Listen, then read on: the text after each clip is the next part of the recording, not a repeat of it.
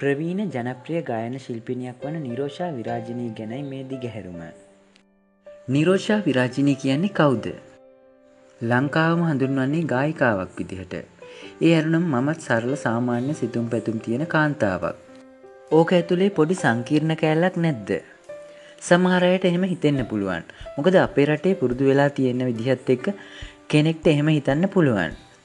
පිරිමින්ට අකමැතිීද නැහැ.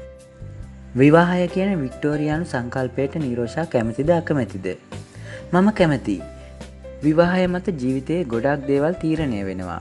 විවාහ බැඳීමක් කියන්නේ උත්තරීතර බැඳීමක්. ඒ බැඳීමට අකමැති කවුරුත් ඉන්නවා කියලා මම හිතන්නේ නැහැ. යම් යම් හේතු මත කෙනෙක්ට විවාහ නොවී ඉන්න පුළුවන්. හරි එක්කෙන හරි විදිහට ජීවිතයට ආපුහම ඕන කෙනෙක් විවාහයට යනවා. විවාහයට මේ සමාජයේ වටිනාකමක් තියෙනවද. ඒක ලෝකයේම තියෙන ප්‍රශ්නයක්. ඉස්සර මගේ අම්මයි තාත්තයි ආච්චිලා සියලා ජීවත් වුණ සමාජ වාතාවරණය නෙවෙයි දැන් තියෙන්නේ. දැන් ඊට වඩා ගොඩක් වෙනස්. කාන්තාව හා පුරුෂයා යන දෙදෙනාම ප්‍රබලයි. කාන්තාව ගොඩක් දේවල් දරාගෙන ඉන්න ඕන කියන එක තමයි බොහෝ ආසියාතික රටවල අදහස වුණේ. නමුත් අද ලංකාවේ කාන්තාව ගොඩක් ප්‍රබලයි. ජීවිතේ තමන්ට එන දේවල් එක්ක ඒ තරම් කැපවීමක් කළ යුතු නැහැ. මම දෙයක් කැප කරන්නේ ඉන් මට ධනාත්මක උත්තරයක් ලැබුණොත්. ඒ නොලැබෙන්න නොලැබෙන්න බෞතරයක් ප්‍රශ්න මැද ජීවත්වෙන්න කැමති නැහැ. එක බිරියක් පෙම්වතියෝ ගොඩක් මේ ගැන මොකද හිතන්නේ. මම තවත් පාර්ශවයක් ගැන කතා කරනවා නෙවෙයි. මේ ලෝකයේ පිරිමියා විතරද ඒදේ කරන්නේ කියන එකත් ප්‍රශ්නයක්. පිරිමින්ට මම පක්ෂව කතා කරනවත් නෙවෙයි. මේ සමාජයේ මම දන්න කාන්තා චරිත ඉන්නවා තමාට ස්වාමි පුරුෂයෙක් ඉද්දී බොහෝ ආදරවන්තයෝ ඇසුරු කරන. ඒක මේ වෙනකොට ට්‍රෙන්ඩ් එකක් වෙලා. එහෙම නොවුනොත් අපි සාම්ප්‍රදායික වේ ගතානුගතික වේ කියලා එයාලා හිතනවා. ගැහැනිය බිරියක් වීම තුළ පෙම්වතයගේ භූමිකාව අහිමි වෙනවද. බිරිය සහ පෙම්වතිය පැහැදිලිවම භූමිකා දෙකක්. බිරිය කියන චරිතය වටා වගකීම් බැඳීම් ගොඩක් එකතු වෙනවා. එතනදී අපි සාම්ප්‍රදායික කන්සෙප් එකක හිර වෙනවා. පෙම්වතිය කියන්නේ බොහොම ස්වාධීන තීරණ ගන්න පුළුවන් හොඳට නිදහසේ හුස්ම ගන්න පුළුවන් චරිතයක්. පිරිමියා හොයන බිරිය කියන චරිතය තුළ පෙම්වතිය බිරිය බවට පත් වනාම බලාපොරොත්තු වෙන්නේ තමන් හොයන පෙම්වතිය බිරියගෙන් නැති වුණාම පිරිමි වෙන පෙම්වතියන් හොයාගෙන යනවා. මේක තමයි ඇත්තම කතාව. එතකොට ඒක ගණු දෙනුවක්ද. මේක දෙකොල්ලටම පොදුයි. මුල් කාලේ අපේ සංස්කෘතියත් එක්ක බැඳුණු දෙයක් තමයි ආදරය කියන්නේ. ඊට වඩා අද සමාජය සංකීර්ණයි. අවශ්‍යතා මත තමයි පෙම්වතා හෝ පෙම්වතිය තෝරගන්නේ. ඔයාගේ මේ දේ තිබුණොත් ඔයා මේ දේ කළොත් මාත් ඒක කරනවා. අන්න ඒ ගණු දෙනුව තමයි තියෙන්නේ. බහුතරයක් බලන්නේ අනෙකාට තමන් වෙනුවෙන් මොනවද කරන්න පුළුවන් කියන එකයි. බොහෝ තැන්වලදී ආදරය අද ගණු දෙනුවක් වෙලා. ආදරය කියන දේ අද ඇත්තෙම නැද්ද. ආදරය කියලා හිතන දේ ආදරය නෙවෙයි ඇත්තටම. මම දකින ආදරය ඊට වඩා වෙනස්. සැබෑ ආදරයේදී අනෙකාගෙන් කිසිවක් බලාපොරොත්තු වෙන්නේ නැහැ. ආදරයට සුදු කළු බේද නැහැ. භෞතික කාරණා ආදරයට වළංගු වෙන්න බෑ. ඉතින් එහෙම දේවල් සමග ඇතිවෙන බැඳීම් ආදරේ නෙවෙයි. ඔයාගේ රස්සාව මොකද්ද? ඔයාගේ පඩිය කීයද? ඔයාට දේපල තියෙනවද? ඉගෙන ගත්තේ කොහෙද? මේ දේවල් ආදරය තුල වළංගු නැහැ. මම දකින ආදරය තුල මේවා බලාපොරොත්තු වෙන්න බෑ. මේ සමාජයේ අපි ආදරය කියලා අත්විඳින්නේ ඇත්තටම අවශ්‍යතාවන් ටිකක් විතරයි. ඇත්ත ආදරේ විඳලා තියෙනවද? ආදරේ කළා, ආදරේ ලැබුවා. මගේ ජීවිතේ මට ලැබුණු ආදරය කියලා මම දැක්කේ වෙන දෙයක්. නිරෝෂා කියන පුද්ගලයා තුළින් ඔවුන්ට ලැබෙන දෙයක් ගැන හිතලා තමයි ඔවුන් මට ලං වුණේ.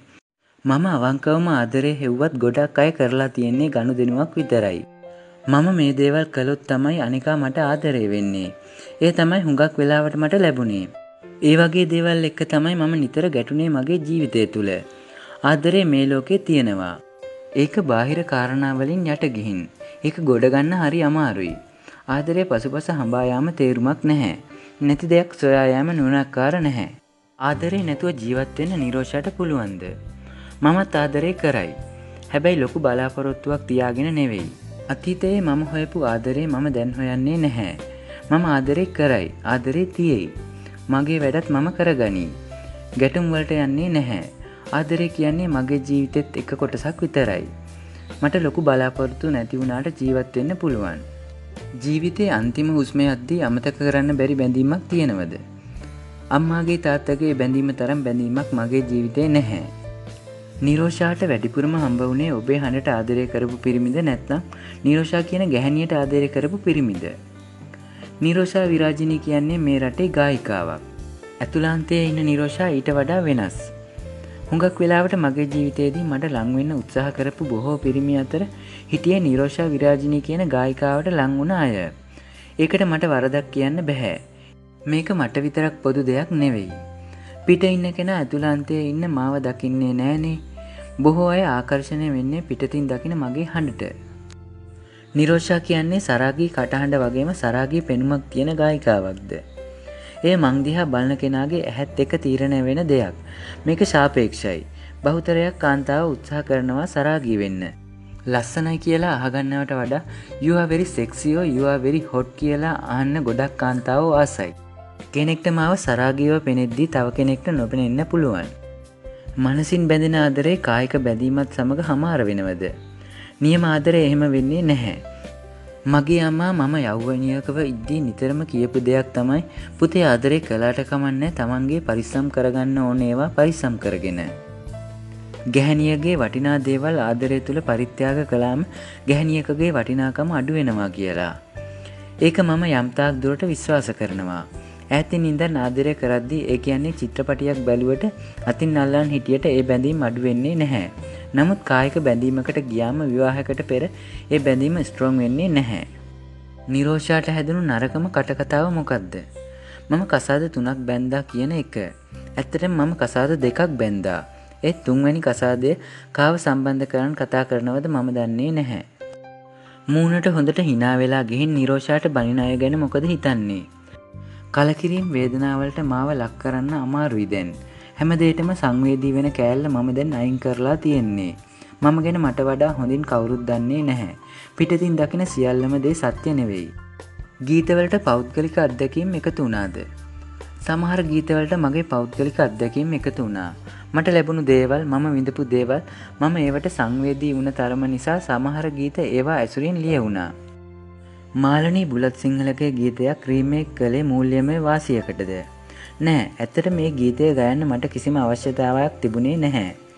ආචාර්ය රෝහණ වීරසිංහ සහ ගීතරචක කැමිලස් පෙරේරා වෙනුවෙන් ඇත්තටම ගීපද රචකයා ගොඩාක් අසරණ වෙලා හිටපු නිසයි ඔහුට ආර්ථික ශක්තියක් ලබා දෙන්නයි මම ඒ ගීතය කළේ. මේ ගීතය රීමේක් කරපු මාදවට ඕන විදිහට තමයි මම ගීතය ගැයුවේ. මාලිනියන් ඒ ගීතය ගැයුවට වඩා නිරෝෂා එය ගැයවම ජනප්‍රිය වුණා නේද. සමහර වෙබ්සයිට් වල මට බැනලා තිබුණා. මගේ ගීත තියන් ඇයි මම අනුන්ගේ සින්දු කිව්වේ කියලා. මම පුංචි කාලේ ඉඳන්ම මේ ගීතයට ගොඩාක් ආදරය කළා.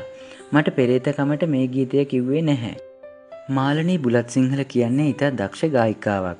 ඇය කියද්දීත් ඒ ගීතය ඉතා ජනප්‍රියයි. මට මාලනී බුලත් සිංහල මහත්මිය වෙන්න බෑ. මම ගැයුවම ඒ ගීතයට වෙන හඬක් ආවා විතරයි. ගීත දෙක ආරවල් දෙකක්. මාලනියන්ට වෙනම අනන්‍යතාවක් තිබුණා. මට වැදගත් වනේ මෙතන මගේ අනන්‍යතාව විතරයි. ශිහාන් මිහිරංග කසුන් කල්හාර අමල් පෙරේරා නලින් පෙරේරා දක්ෂතාව මත පෙරගස්වන්න. කසුන් කල්හාර අමල් පෙරේරා නලින් පෙරේරා ශිහාන් මිහිරංග. ශෂිකා නිසංසලා සමිතා මුදුන් කොටුව උරේෂා රවිහාරි දක්ෂතාවය මත පෙළගස්වන්න. එක සමිතා මුදුන් කොටුව. උරේෂයි ශෂිකයි එකම මට්ටමයි වගේ තමයි මට තේරෙන්නේ. ඒ දෙන්නගේ ලොකු වෙනසක් තේරෙන්නේ නැහැ. ඒ දෙන්නම දෙවැනි තැන. ඉන්දියාවේ ලතා මංගෙස්කාර් ශ්‍රියා ගෝසාල්. ලතා මංගෙස්කාර් තමයි. ශ්‍රියා කියන්නේ මම ඉතාමත් කැමති වගේම දක්ෂ නවපරපුරේ ගායිකාවක්. ලංකාවේ වේදිකාවේ ගයන සේරම ගායිකාවෝ ගායකයොද. නෑ එයාලා එක එක චරිත නියෝජනය කරනවා. ගායනට වඩා චරිතය නියෝජනය තමයි එයාලා කරන්නේ. බහුතරය ගායක ගායිකාවෝ නෙවෙයි. ජිප්සි සන්ෆ්ලව ෆලස්් බෑක් සනිතප දක්ෂතාවය මත පෙළගස්වන්න. ජිප්සිස් එක ෆලෑස් බෑක් සනිතප සන්ෆ්ලව ලංකාවේ ප්‍රබල දේශපාලන චරිතයක් ඔබට දේශපාලනයට එන්න ආරාධනා කලාද ඔවු. ඇත්තරම් මට දේශපාලන දැනුමක් නැහැ. දැනුමක් නැතුව මම කිසිම දේකට යොමු වෙන්නේ නැහැ.